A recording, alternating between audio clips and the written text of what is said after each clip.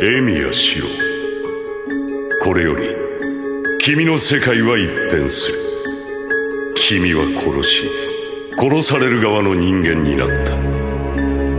その身はすでにマスターなのだから。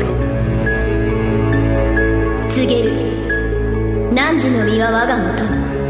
我が運命は汝の剣に。聖杯の夜べに従いこの意この断りに従うならば答えよ。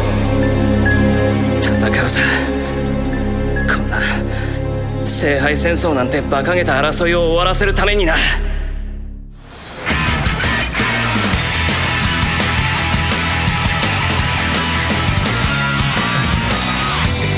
一人も殺さないなどという考えでは結局誰も救えない。俺はお前とは違う勝つために結果のために周りを犠牲にするなんて。四郎の生き方はひどくいびつよ。自分より他人の命が大切なんて間違ってる。お前の参謀はいい女だからな。いい女が手をかすってんだから。お前だって物好きなお人よしなんだろなぜなぜそのような結末を望むのです？あなたの望みは間違ってる。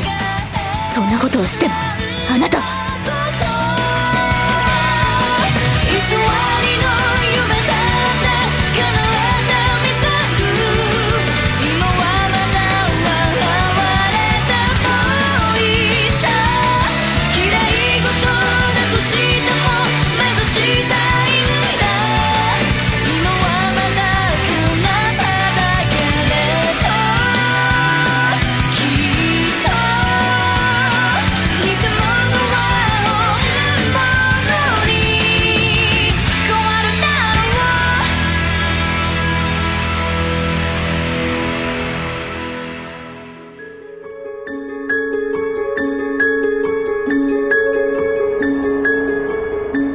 最後だ。